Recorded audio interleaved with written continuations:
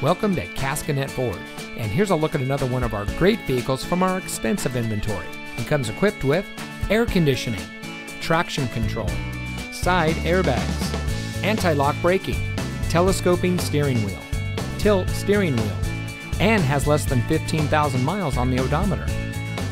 Caskinette Ford is driven to ensure every customer gets the highest level of customer service and a car shopping experience like no other.